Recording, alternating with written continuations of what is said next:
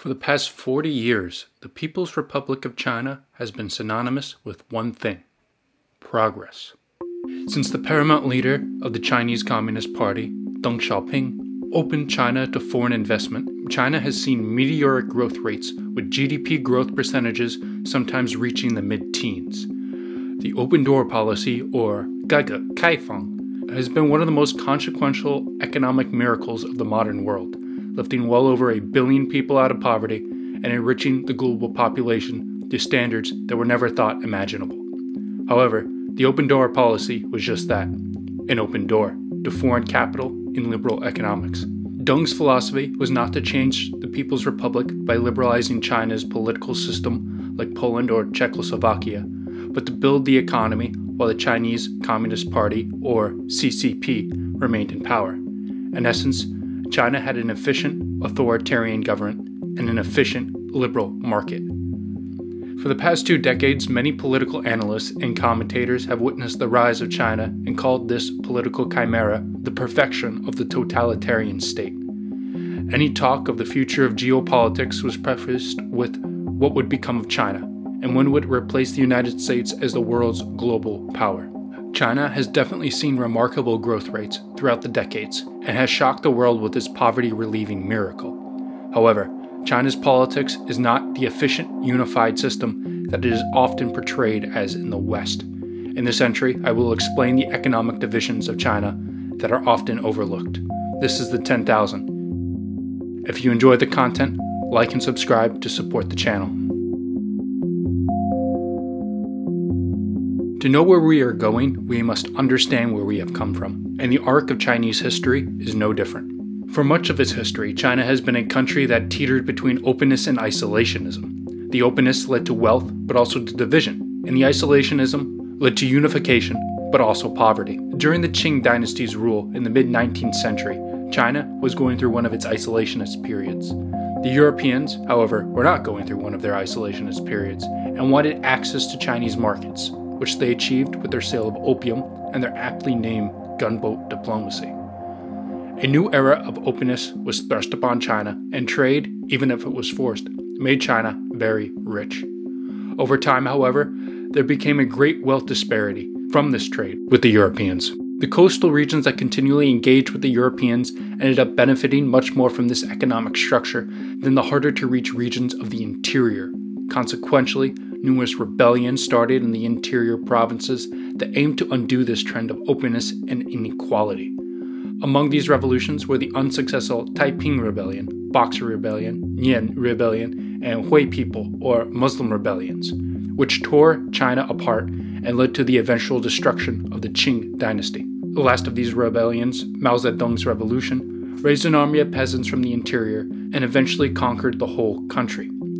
In 1949, Mao proclaimed the People's Republic of China from the Peace Gate of Heaven, or Tiananmen, and then proceeded to close off China's markets and return China to its pre European isolation. In a truly Marxist way, China had a strong and unified, but isolationist government that was justified by communist thought.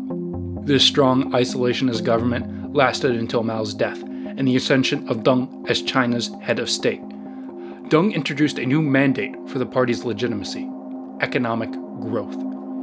It was Deng and his economic reforms that pushed China on the path of growth that it benefits from today. We do not have time to go over the entire economic impact of Deng and his predecessors' reforms, but it is important that we go over the stages.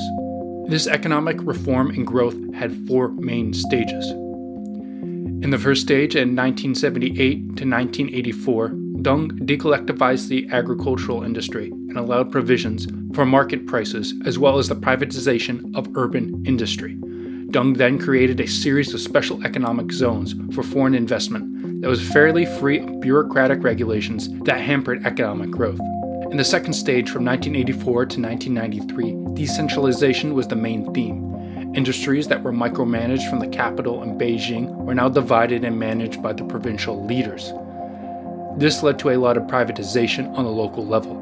As provincial leaders experimented with ways that would improve GDP growth, the private sector soon became a much larger percentage of the Chinese economy. In the second stage, China was again becoming richer but more decentralized.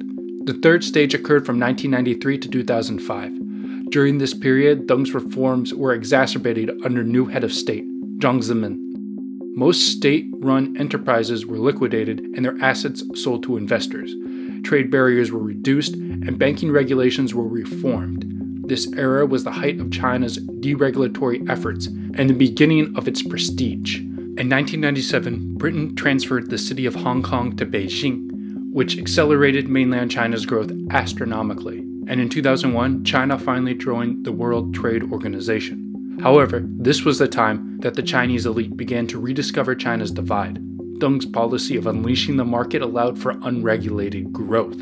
State run enterprises that were now privatized now had to operate efficiently or had to dissolve, making full employment a thing of the past and unemployment a new reality. The fourth and final stage of economic reform was from 2005 until the rise of Xi Jinping in the beginning of 2013. In this era, under conservative paramount leader Hu Jintao, economic reform and privatization began to slow. The Chinese public sector received much of the investment. Some of the investment helped to modernize China's economy, and it went to areas such as healthcare, but large amounts of it went to Chinese strategic industries. Chinese national champions, such as Huawei and Tencent, were heavily subsidized, creating what economists called a crowding out effect and preventing investment and competition from the private sector. This was the era China's economy began to slow. Growth rates rarely went north of 10%, as it reached its height of 14% GDP increase in 2007 and shot down to around 9% for the years after.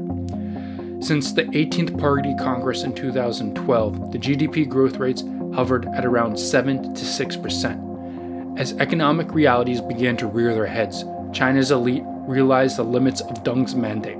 Thus, China was heading for a new era, one of transition and one of questions. These questions started to be answered by the ascension of Xi Jinping as paramount leader.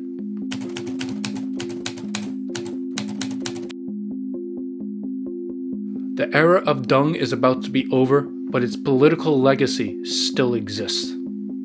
Like the late Qing dynasty before it, Deng Xiaoping's China created two main political factions within Chinese politics the globalists and the populists. The globalists are the faction who wanted to foster greater connection to the outside world.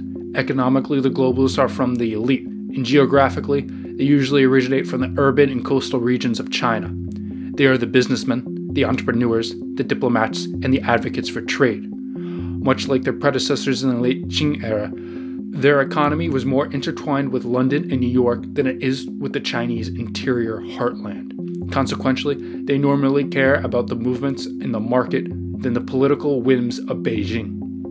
Most importantly, they view rule by party consensus as crucial. The late Deng and his cadre of globalists are afraid of a single strongman, like Mao, returning to China's political scene and inflicting the horrors akin to Mao's great leap forward and cultural revolution. The shift from rule to man to rule to party has been credited with bringing political stability and economic growth to China. Contrary to them are the populists, largely Mao Zedong's initial base. Their politicians are usually the party leaders in less developed interior states. They represent the farmers, the migrant workers, and the urban poor. Like Mao and the 19th century boxers, they advocate for populist issues, egalitarian issues, and concerns that would benefit the interior and thus create cohesiveness in China. These two factions struggled for control throughout Deng's era. Deng himself was obviously a globalist, and after he partially retired in 1989, he installed a political puppet, Jiang Zemin, the party secretary from Shanghai. With little real power actually given to him for the first half of his reign, he had little choice but to bend to Deng's will and become a globalist. After the party congress in 2002, Jiang also partially retired and Hu Jintao, a populist, became paramount leader. Like many populists, he is a man from humble beginnings and was born in a landlocked province, Anhui, who, although a populist, often ruled through party consensus and did not govern with a strong cult of personality. Unlike his predecessors, Hu Jintao actually walked away from power when his second term was up in 2012. This leaves us to our current paramount leader, President of China, Xi Jinping. Xi is a truly interesting leader. He was born into a well respected upper class family, but politically, he is very much a populist. In that respect, he is very much like Donald Trump. Like Donald Trump, he wanted to make China great again with his Zhongguomeng, or Chinese Dream. Xi is acutely aware of the economic divisions that plague China and their severity, and he has tried to act accordingly.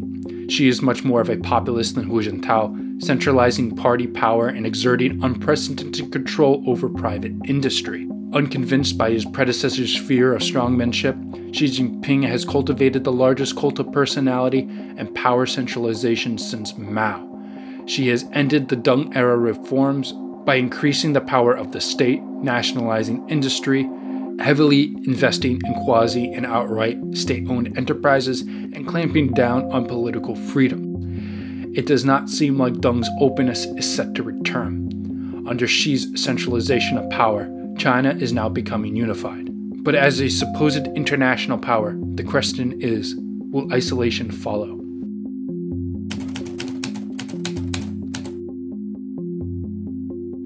China is experiencing the largest migration in history the migration of its rural poor to its urban metropolises.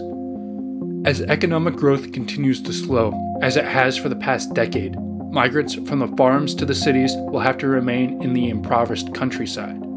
The small release valve for economic anxiety is beginning to dwindle. In order to prevent the explosion or implosion of Chinese society, President Xi Jinping needs to throttle both the coast's economic ambitions and the interior's economic anxiety.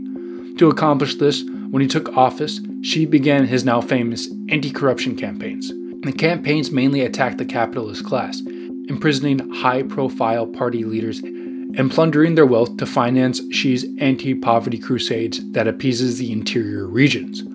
Unfortunately for Xi, this caused mass capital flight from China that only heightened with the US trade conflict. Although the loss of wealth is a problem, for the regime to survive, the riches of China must be submissive to the party. As Christ said, no man can have two masters. You have to love one and hate the other. The party correctly believes the same. Besides the capitalist, the other institution that must serve either the party or money is the PLA, or People's Liberation Army, the armed forces of the People's Republic of China.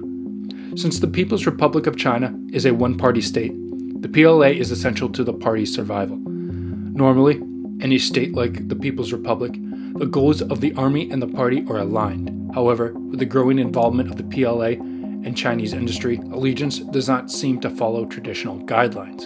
Since the relaxing of regulations in the 2000s, the PLA has owned corporations and the officers themselves are tied into specific non governmental related business interests, thus making them inclined to globalist thinking and ideals.